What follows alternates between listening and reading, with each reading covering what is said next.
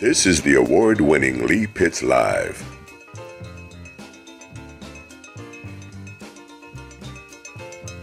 Brought to you by the North Law Firm.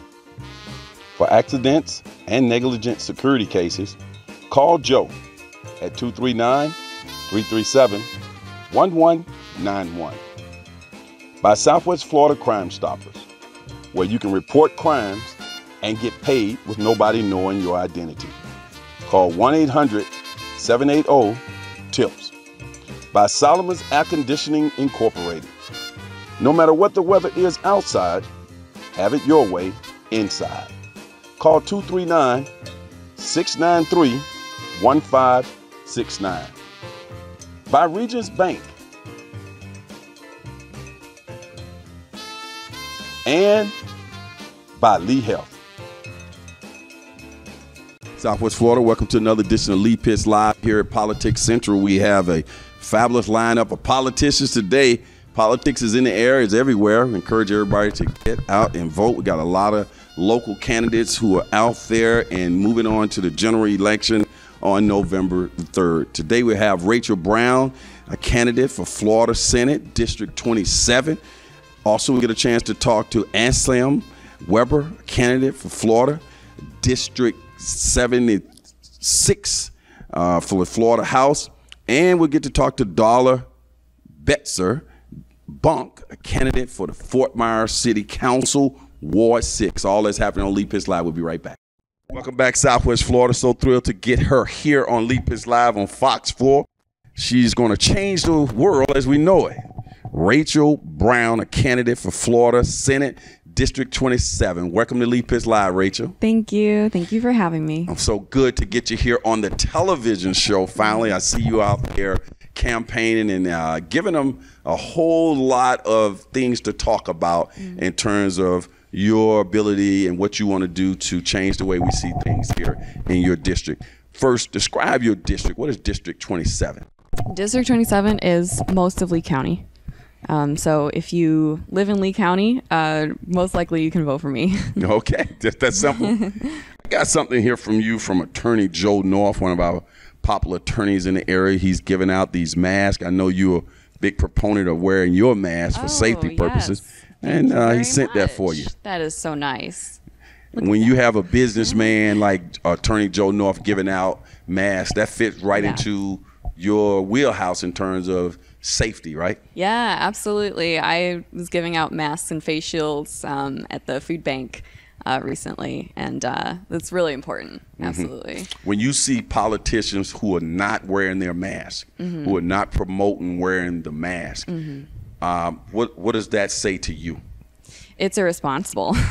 it's straight up irresponsible. It's like reckless driving. You know, um, clearly, you know, if you cover the orifice where COVID is transferred, you're going to lower your chances of giving other people COVID. And mm-hmm. simple as that. You're a big proponent of clean water, great water, great environmental causes. Mm. Tell me where that came from as a part of your platform. Yeah, I actually study environmental engineering at Florida Gulf Coast University. I am working towards my bachelor's I wouldn't be running for office right now if it were not absolutely crucial um, with the state of our water quality and the coastal erosion that's happening, um, and just the neglect for our environment that's happening. Mm-hmm. As a senator for the state, how could you impact that? Yeah, uh, state senate has a lot of power. It's the highest power in the state um, under the governor. So, you know, we deal with the state budget and uh, we can, I would have the power to put forth a uh, Florida Climate and Economic Defense Initiative, which is um, a plan that I'm a part of to combat things like climate change and also our uh, help our economy as well um, in the midst of the coastal erosion that's happening. Um, so that brings a lot, a lot of power on the state level. When you are listening to your potential voters who will vote for you, your constituents, do you hear them express their concern about mm-hmm. the water, the coast, and, and those types of things as a, as a major point for them? I hear that a lot in Cape Coral. Um, people talk about when they're going over the Cape Coral Bridge, the water quality is really bad, and the um, there's a lot of pollution there.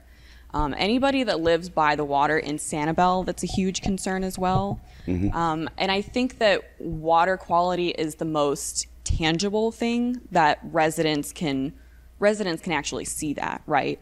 Um, there's you know air quality, there's um, land that's being destructed, but water quality seems to be the thing that people can physically see that's getting worse and worse. I see. You are the Democratic candidate for District 27. What distinguishes you from your opponent? My uh, so many things. Um, I would say uh, so. My opponent has an F rating for environment by the Florida Environmental Democratic Caucus of Florida, um, and so that's that's a big difference there. He's signed pro fracking legislations. He's signed legislations that preempt the establishment of a legal right to clean air and water, which is absolutely necessary um, for individuals to be able to have a defense for that right. Um, also, on the issue of labor rights, he does not support a needed minimum wage increase um, to $15 an hour by 2026. That's a big difference there. Um, and I believe that a livable wage is absolutely crucial for people to be financially independent. If they don't have a livable wage that matches the cost of living, then how can they pay to live? You know, and so we're we're going to people are going to uh, need to be reliant on the government if they don't have a livable wage, and so that's step number one. Um, but so those are just Okay. two things that are I, I'm going to go and focus on one thing that you just laid out. Let's talk about the livable wage. You want to see it increase to, Yeah. I think, more than $15 or around $15 in the next four years. Yes. So the current uh, the current livable wage in Lee County is about twelve dollars and fifty cents if you are single, no kids. Um, that's according to the cost of living. So that's the main thing is that the cost of living is always shifting. So any price that we put on what should people be making an hour, it's going to be arbitrary unless we base it off of what does it actually cost to pay for health care, for rent, um, for insurance. all So in things. essence, you're saying you, the, the livable wage should adjust according to the cost of living absolutely. over the life of living, Mm-hmm. right? So uh, why? That sounds like a smart idea to a guy like me, just a conscientious observer. Why do you think that there has been pushback on that? There are several reasons. Um, gentrification is part of it. What we're seeing in Fort Myers right now is there is, um, so to give some context, there's a luxury condo complex that was given $5.5 million out of city budget. So taxpayer money is going to a luxury condo complex. Um, whereas we're defunding uh, public housing. And so we're using public funds not for public housing, but for things that are not necessary. And so it's really financially driven. It's the tie between politics and uh, finance, people giving money to politicians so they can vote uh, in their favor. So a real estate developer will give money to a politician um, so that they will vote in their favor. So, in Assessment Street way, you're saying, let's just take the developer concept for a minute. The developers do not want to pay their labor that type of money, so they will have more money to go into their pockets, That's, yeah. right? And so there is what you call there's the Davis Bacon's the wage decision, which uh, requires that uh, construction projects are paid the going wage rate, whatever that going wage rate is. And if they can keep that wage rate suppressed, then they continue to get labor that's uh, not meeting the cost of living, right? Yeah, that's okay. exactly So right. I just for the TV audience, the let's go to the um, day one. If you elected to to the Senate, Mm-hmm. Florida Senate, what would be your first thing you want to get done? yeah. Um, First 100 days. First 100 days. Well, so I do have the Florida Climate Economic Defense Initiative that I talk about a lot. Um, that's going to take quite some time. I don't know if it can be done in the first 100 days, um, but that will definitely be a, a push for that. But I do think that decriminalizing drug possession can happen quite quickly. So that's something that I. How does that look?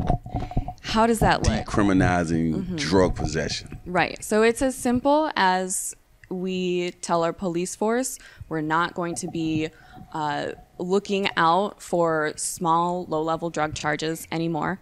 Um, but what we're going to do For is- example, for for example, like, low level. like marijuana charges, like having a small amount of marijuana. You like to legalize marijuana. right? Absolutely. Go ahead. Absolutely. Yeah, it's uh, there are many things in our system that we have to ask why. let's go back to let's stay in that for a minute Uh-huh. the uh, so people can understand where you stand on things uh, you're a big proponent of black lives matter correct mm-hmm. under that one of the things is defunding the, the police yeah. how do you how do you see that Yeah. Um, so the idea is that instead of funding punishment, crime and punishment, we're funding better communities. So um, that's, uh, yeah, that's the best way I can explain that. the shifting of the money Yeah, absolutely. So rather than putting so much funds towards uh, incarceration, we're putting funds towards better schools, putting funds towards even traffic control, right? Um, when drugs and alcohol are on the streets, that's really when they pose a problem, when people are driving under the influence. well now you actually put your college education on hold to run for the florida senate Yes. why and is it worth it Yes. Yeah, I believe it's worth it. um, sometimes, you know, I think about that. Uh, yes, it's worth it because I study environmental engineering, which means that I will be dealing with uh, pollution. And uh, what I'm finding is that legislators have a lot of power in that. And so it's not that the science isn't there. Engineers, my professors, they know what they're doing. Um, but it's really the legislation, the legislators making bad environmental decisions. And I feel like I'm, you know, I'm here in school and I'm watching these things happen and I can't do that anymore. So um, this is what is absolutely necessary to deal with right now is the legislative side of things. So that's what I'm going to do. Who do you blame the pandemic, the COVID 19 situation in the state of Florida on? Ooh, well, uh, all of our state leaders that didn't uh, want to have a mask mandate right away.